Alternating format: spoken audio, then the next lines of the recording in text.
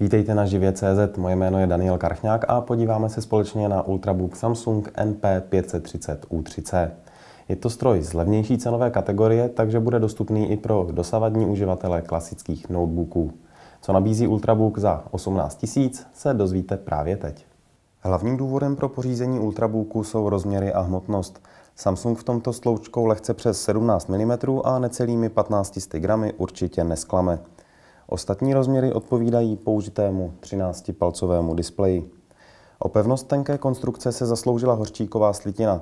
Díky tomu nedochází k nadměrnému prohýbání a současně je dobře ochráněn displej, ke kterému se zvnějšku promáčknete až hodně silným tlakem. S výjimkou oblasti konektorů je profil základny směrem k okrajům stenčován. Při použití může být nepříjemná možná až příliš ostrá přední hrana, která je samostatným konstrukčním prvkem.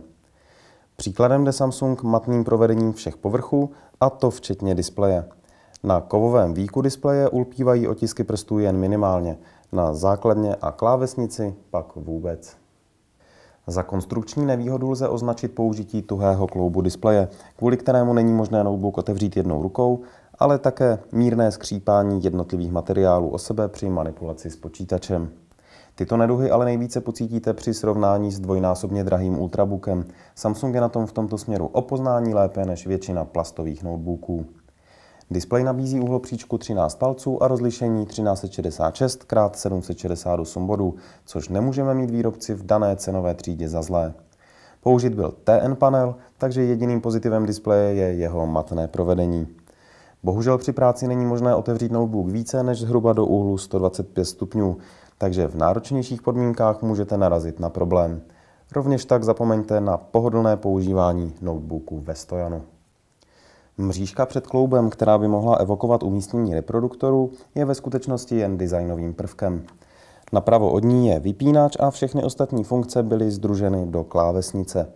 Ta je bez sporu chloubou testovaného Samsungu, píše se na ní výborně a dokonce nabízí skoro úplně standardní rozložení. Všimněte si oddělených šipek a nebo velkého entru. V případě zájmu můžete využít i klávesu FN Lock, která nebývá na notebookích obvyklá. Notebook je dodáván z Windows 8, takže nechybí ani upravené logo na klávese Win.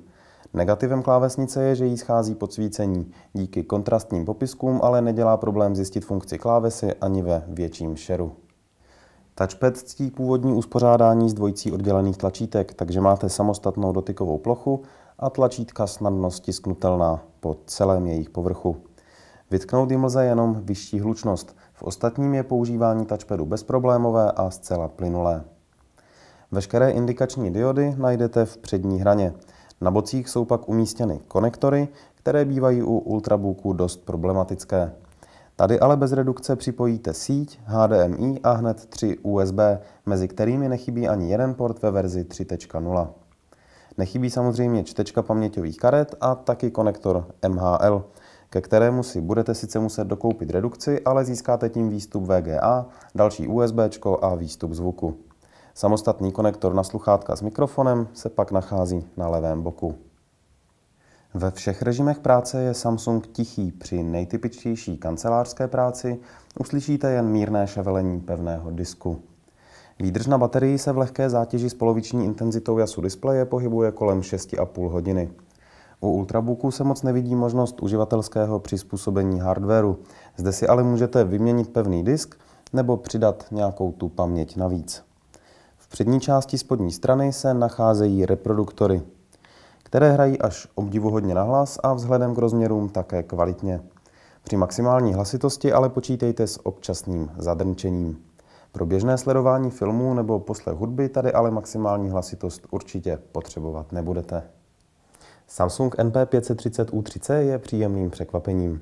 Za příznivou cenu můžete mít Ultrabook z kvalitních materiálů, s matným displejem, dobrou klávesnicí a plnohodnotnými konektory. Procesor Intel Core i3 bude většině uživatelů pro běžnou kancelářskou práci úplně stačit. A pokud ne, můžete asi 1000 korun připlatit za Core i5 a 128 GB disk SSD. Testované konfiguraci za 18 000 je vedle už zmíněné Core i3 ještě 4 GB paměti a 500 GB klasický disk. Samsung MP530 U3C je v současnosti rozhodně kandidátem na jeden z nejlepších ultrabooků v cenové třídě do 20 000 korun. Mějte se hezky a sledujte dál živě.cz.